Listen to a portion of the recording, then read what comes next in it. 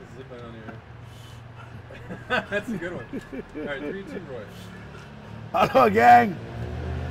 Aloha, Bradda Roy, with a pidgin word for the day.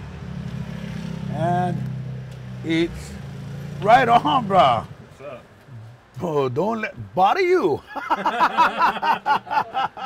what a board. Wait, I gotta say that's Look at me. that's my board right there. I know that board, bro.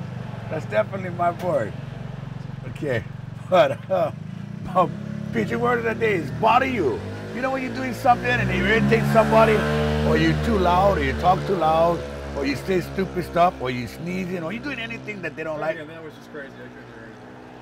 Okay, pidgin word of the See that big loud motorcycle? Yeah. Bother us,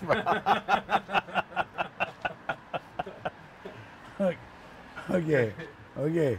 Aloha gang, Bradda Roy. Today's pidgin word is bother you.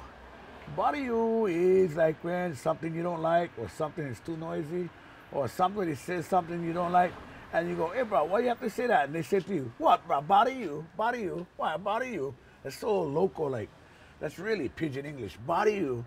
And I think everybody relates to that one. So without me bothering you, okay, I'm out. Bother you.